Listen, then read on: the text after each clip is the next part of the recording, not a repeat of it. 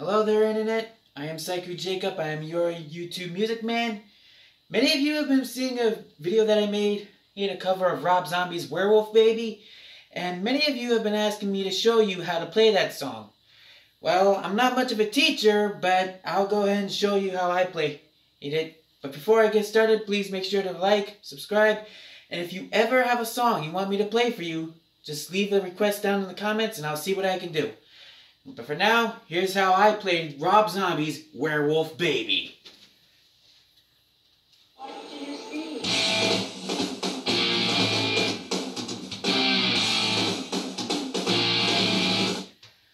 Alright, now let's start with that.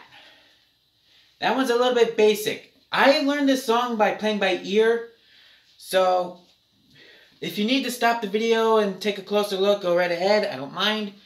But let's start with the intro.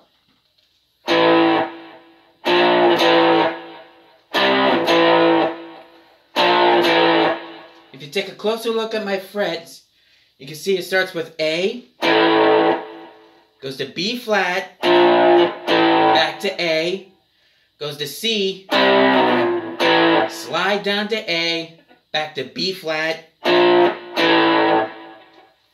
and that's how you do the intro.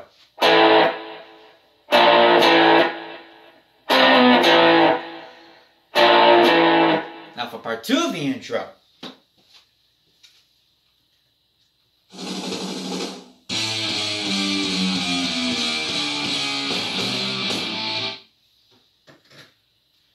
Now, that part's a little tricky, but the best way I figured out to do that is to start at A and play every chord, bar chord, down till you get to C, then go back to A, like this.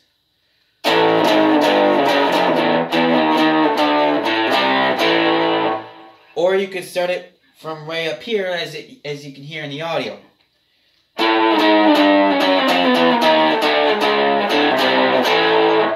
That way is much easier. You can either go this way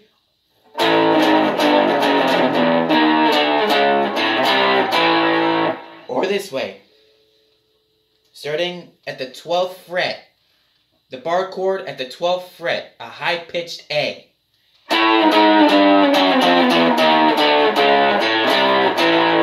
All you do is play every bar chord from high-pitched A or regular A bar chord all the way down to C. Then once you play the C, you go back to A. Now for part three of the intro.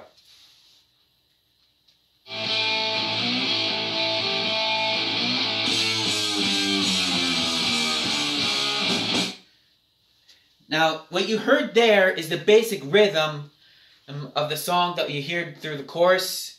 It's just a simple A, C, G. Those are the chords you'll be playing. A, C, A, G, A, C, A, like this. Let me slow that down for you. Let me come a little closer. A, C, A, G, C, A. Simple as that. Then you do that straight bar chord or part of the second second part of the intro again, starting at a high pitched 12 bar high pitched A bar chord or regular A bar chord.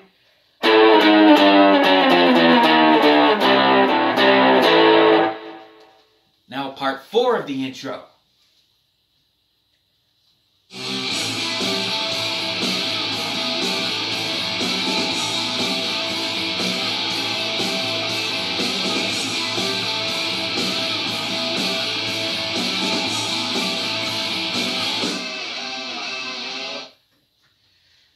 That part's basically simple.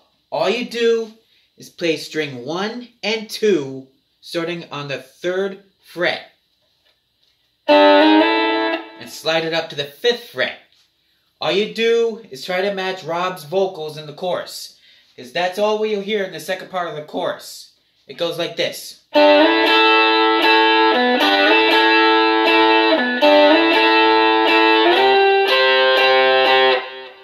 See, you start with three as you're playing the first two strings. You start on three, slide it up to five. And slide it down to three again.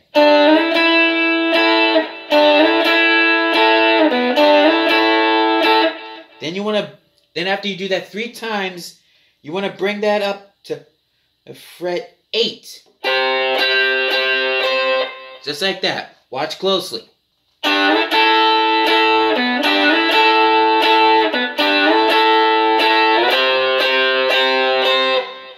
You're going to be playing that through the chorus when Rob is singing. Now let's get to the verse.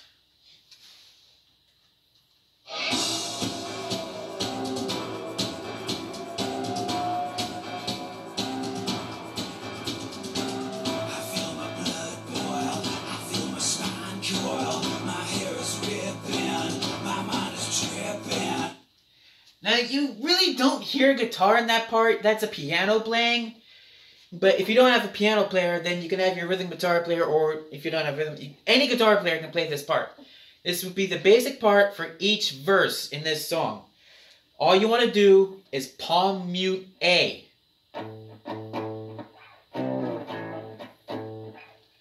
And then you want to bring that up to, to C.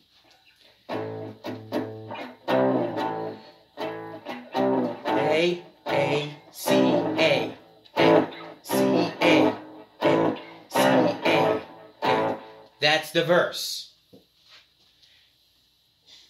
Now let's get to the chorus.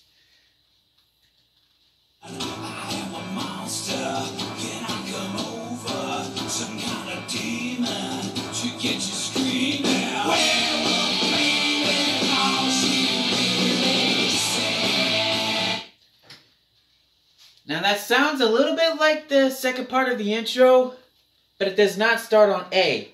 It starts on E flat or D sharp.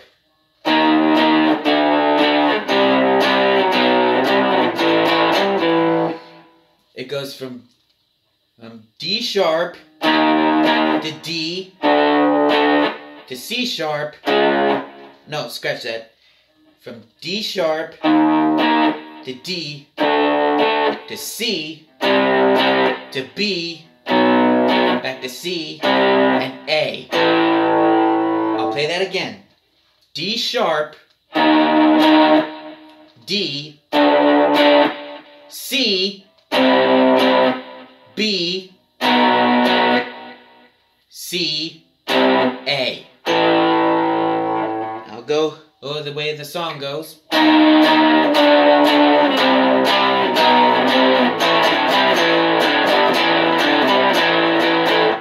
See, in that last part, all you do is play the third part of the chorus again.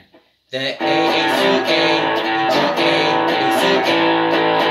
That's basically the first half of the chorus. Now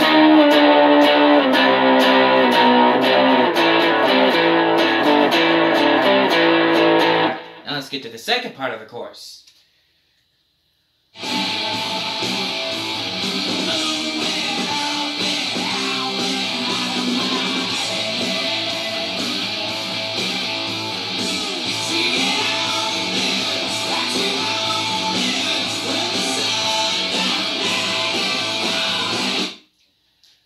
Remember the final part of the chorus of the intro that I showed you?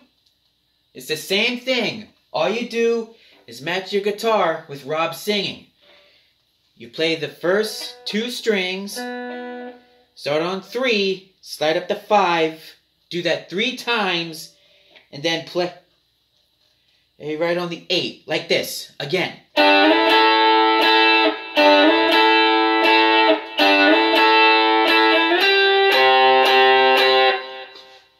That's the second part of the chorus. You do that for each chorus in this song.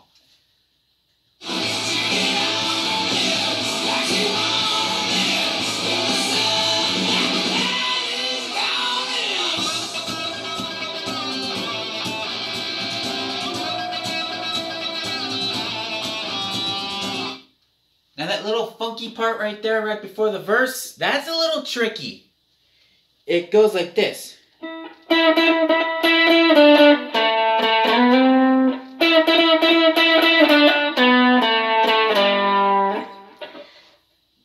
It's basically the lead E ladder for for the A for the D chord. Like that. But you want to start right here on the third string on fret 9. Third string, fret 9. Then go stay, stay on the same string, then play fret 7.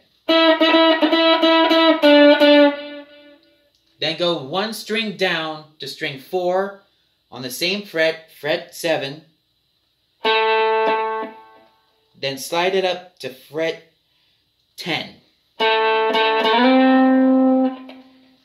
And for the second part of that, just do the same thing. Third, third string, fret 9. Then down to fret 7. Fourth string, fret 7.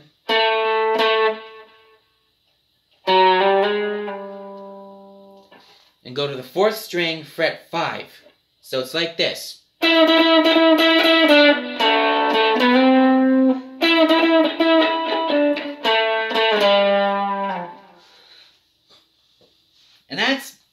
Basically the whole song. So I'm to go over the, over the first, the intro, the verse, and chorus again. Just pay close attention and remember all what I showed you.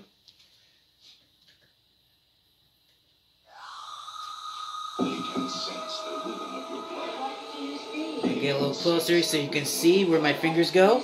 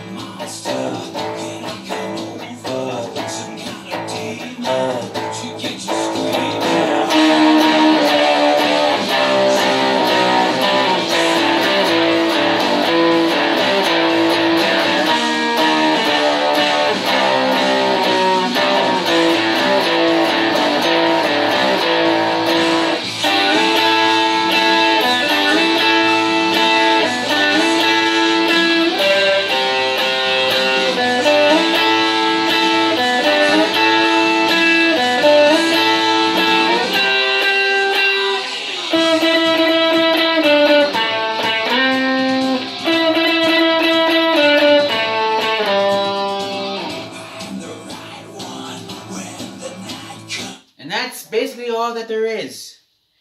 If you need to go back and watch this video, watch parts of this video again, go right ahead. The best way to learn this song is to learn by ear. Get yourself one of those plug-in amplifiers. Here's that you can attach your earbuds to or headphones. I have a Vox mini amp thing that can plug into my guitar. I can plug in my headphones, wrap it around my head. I can plug in my auxiliary cord or and play along to a song I'm listening to. That's how I learned how to play this song. I learned it by ear. Ear. But if this helps you in any way, I was glad to do it.